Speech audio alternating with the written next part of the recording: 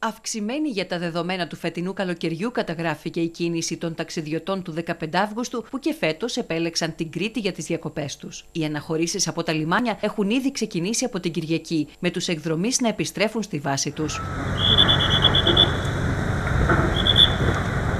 Κίνηση στο λιμάνι του Ηρακλείου κατά το τριήμερο 14 με 16 Αυγούστου, δηλαδή στο peak της τουριστικής σεζόν, φέτος περιορίστηκε στο 70% σε σχέση με το αντίστοιχο περσινό. Αυτό οφείλεται στις μειωμένες πληρότητες των πλοίων της γραμμής Ηράκλειο-Πειραιάς, αλλά και στη μείωση των κυκλαδίτικων δρομολογίων. Τα καράβια τα, τα οποία έχουν δικαίωμα πληρότητας 85% όντως ε, είναι κοντά σε αυτά τα ποσοστά, δηλαδή είναι γύρω στο 83-85, εξαρτάται τώρα και από τις ημέρες, έτσι.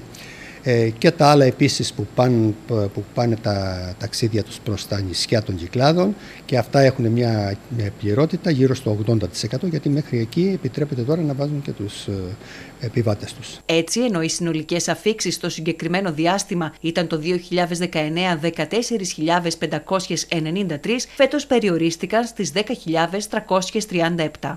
Το ίδιο διάστημα, οι αναχωρήσεις από το λιμάνι του Ηρακλείου καταγράφονται μειωμένες κατά 23%. Το 2019 αναχώρησαν 14.289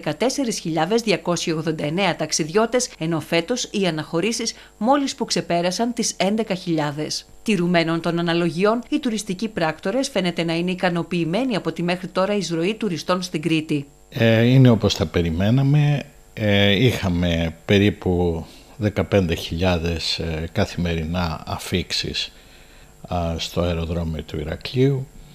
Ε, πιστεύω ότι θα επιβεβαιωθούν αυτές οι προβλέψεις που είχαμε ότι θα είναι γύρω στο 55% σε σχέση με πέρυσι ο Αύγουστος την ίδια ώρα, στο αεροδρόμιο του Ηρακλείου δεν καταγράφονται διακυμάνσεις με την κίνηση των επιβατών να παραμένει μειωμένη κατά 50% σε σχέση με πέρυσι, όπως άλλωστε αναμενόταν τη φετινή σεζόν και χωρίς μέχρι στιγμής να υπάρχουν ακυρώσεις σε δρομολόγια. Τώρα, λόγω του 15 Αύγουστου, έχουν αυξηθεί οι πληρότητε τη πτήση εσωτερικού. Οπότε, όποιος είναι να ταξιδέψει ή να γυρίσει πίσω, καλό θα είναι πιο μπροστά να μπορέσει να εξασφαλίσει θέση και να μην έρθει τελευταία στιγμή στο αεροδρόμιο. Εάν προσέξουμε και δεν έχουμε προβλήματα με την πανδημία, ε, νομίζω ότι θα προχωρήσουμε σύμφωνα με τις προβλέψεις που κάναμε για τη φετινή κουτσουρεμένη σεζόν. Ε, θα κάνουμε μία ακόμα φορά έκκληση να προσέξουμε όλοι, να τηρούμε τα υγειονομικά πρωτόκολλα. Σίγουρα ε, οι εργαζόμενοι στον τουρισμό έχουν εκπαιδευτεί και το κάνουν και το βλέπουμε αυτό και αν είμαστε λίγο τυχεροί θα προχωρήσουμε.